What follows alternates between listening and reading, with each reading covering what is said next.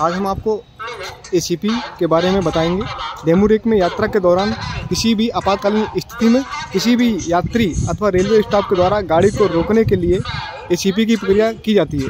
अब हम आपको डेमू रेक में एसीपी करके तथा उसको रिसेट करके दिखाएँगे।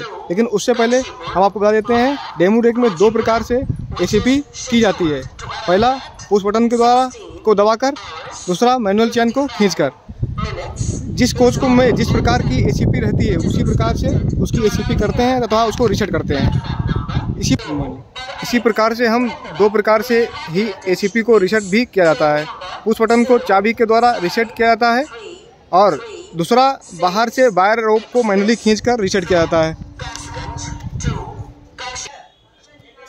अब हम आपको दोनों तरीके से एसीपी करके तथा रिसेट करके दिखाएँगे। पहला, पुश बटन को दबाकर एसीपी करके दिखाना। कोच संख्या उन्नीस चार सौ निन्यानवे में ये पुश बटन है हमारा। इसको हम दबाएँगे इस तरीके से तो हमारा जो है, इस गाड़ी में एसीपी हो जाएगी। एसीपी करने के बाद कोच के बाहर लाइटें जल जाएँगी दोनों साइड। के बाद वहाँ कोच के बाहर लाइट जला, लाइट जलने के बाद दोनों ही डीपीसी में इलेक्ट्रिक हुटर बनना स्टार्ट हो जाता है एसीपी होने पर। और इसी के अनुसार ड्राइवर एवं गार्ड को दोनों को मालूम चल जाता है कि किसी भी कोच में इस कोच में ए हुई है। उसी के अनुसार वो अपने विवेक के अनुसार निर्णय लेते हैं कि गाड़ी को उनको चलाना है अथवा रोकना है। इसके साथ ही साथ एलईडी इंडिकेशन पैनल पे भी पैसेंजर अलार्म का लाइट जल जाती है। इससे इससे मालूम चल जाता है कि पैसेंजर अलार्म हो गया है। अभी हमने उन्नीस चार सौ नौ में एसीपी की थी, जिसके कारण से इलेक्ट्रिक हुटर एवं इंडिकेशन आ गया था इलेक्ट्रिक एलईडी पैनल पर। अब हमें उसको रिसेट कर, किस प्रकार करेंगे? आइए देखते हैं किस प्रकार हम इसको रिसेट करेंगे।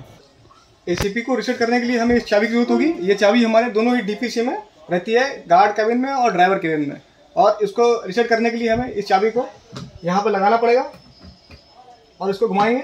और वैसे ही जो पुश बटन जो है, बाहर की ओर आ जाएगा। वैसे ही हमारा जो है ए रिसेट हो जाएगी।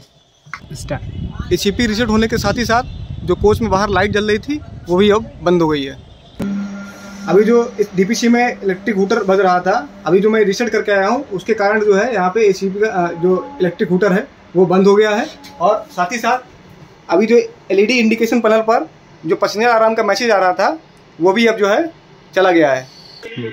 अब हम दूसरी विधि के बारे में बात करेंगे, जो हमको मैनुअल चैन खींचकर जो है चैन पुलिंग होती है और उसको मैनुअली रिसेट भी कर सकते हैं।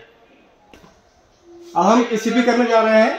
एसीपी करने के लिए हमको सबसे पहले ये जो चैन दे रखी है इसको जो है पकड़ना है और जो है इसको इस तरीके से थोड़ा प्रेशर से खींचना है। चैन खींचते ही हमारे इस कोच की एसीपी हो गई है, जो कि है उन्नीस ज़ीरो सत्ताईस। हमने, अभी हमने उन्नीस ज़ीरो सत्ताईस में मैनुअली चैन पुलिंग की थी। इसी कारण देखिए, यहाँ पे जो है एसीपी इलेक्ट्रिक हूटर अपने आप बंद लगा एसीपी होने के बाद। साथ ही साथ फिर से एलडी एलईडी इंडिकेशन पैनल पर पैसेंजर अलार्म का मैसेज आ गया। मैनुअल चैन पुलिंग को रिसेट करने का तरीका के लिए इसमें जो है एक हमको वायर रूप दे रखा होता है, जिससे हम जो है अपनी चैन पुलिंग को रिसेट कर सकते हैं। अब देखिए मैं इस प्रकार से मैं इसको जो है नीचे की ओर खींचूँगा और जो लाइट है वो बंद हो जाएगी और चैन पुलिंग जो है वो रिसेट हो जाएगी। देखिए, इस प्रकार से चैन पुलिंग रिसेट हो गई और जो है लाइट भी बंद हो गई। डीपीसी उन्नीस ज़ीरो सत्ताईस में जैसे ही मैंने मैनुअल जो है एसीपी को रिसेट किया, वैसे ही इसमें इलेक्ट्रिक हुटर जो है अपने आप बंद हो गया। और एलईडी इंडिकेशन पैनल पर जो मैसेज आया था पसेंजर आराम चैन का, वो भी जो है यहाँ पे बंद हो गया। इस प्रकार हम डेमो रेक में एसीपी को रिसेट करते हैं। यही दो विधि हैं जिसके द्वारा हम अपनी एसीपी को रिसेट करते हैं डेमो रेक में। डेमो रेक में जो एसीपी होती है वो आई सी एल से काफ़ी अलग होता है।